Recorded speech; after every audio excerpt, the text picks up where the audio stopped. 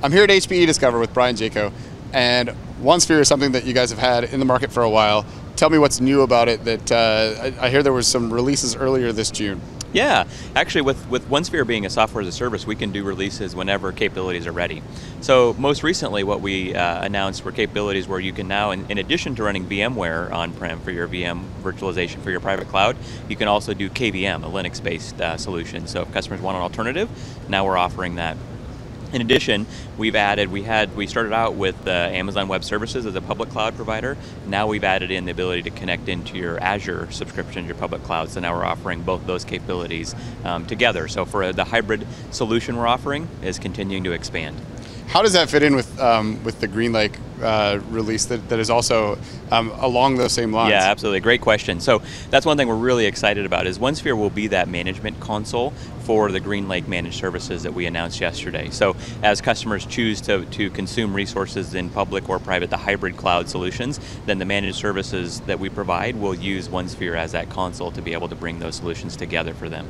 Okay, and I hear there's also a, a, new developer community that's kind of being built around OneSphere. Yeah, there absolutely is. It's going really well. In fact, um, right over across the hall here at the on the Discover Show floor, we've got a Hack Shack. First time we've ever had that. So in the Hack Shack, we have developers um, using the OneView, the OneSphere, and other APIs in order to drive automation or get richer insights out of the platform, basically do what they need to do to be successful, whether it's from a DevOps automation point of view.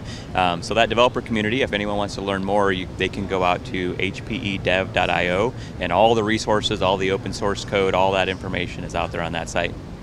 Very cool. And Magellan Robotech apparently has a uh, interesting case study behind OneSphere that, that is kind of leading the charge for this new version. Yeah, exactly. So we're really excited to have them. They've been part of several of our um, presentations and our keynote uh, events that we've had here. In fact, they're going to be presenting on stage with us later today in a session I'm presenting at.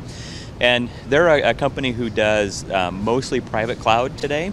But what they were lacking was any insights into cost. The developers couldn't move as quickly as they needed to. In fact, uh, one of the uh, the head of IT who's here made the comment that instead of it taking weeks or days to get solutions for their developers. It now is in seconds. And he said it's literally seconds to give those resources to them with a self-service interface. So pretty exciting. So so what what kind of what about OneSphere made that change possible?